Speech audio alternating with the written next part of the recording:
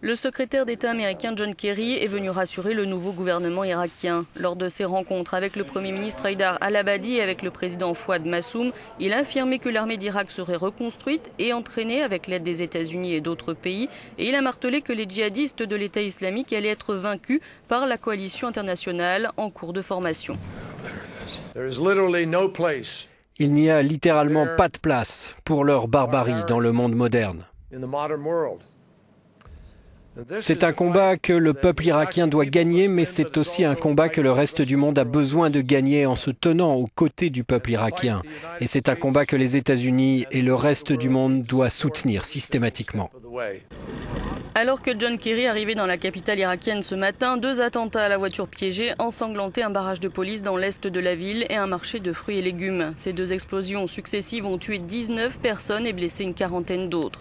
Cette double attaque a été orchestrée par les djihadistes de l'EI que combattent les forces irakiennes dans le nord, le centre et l'ouest du pays.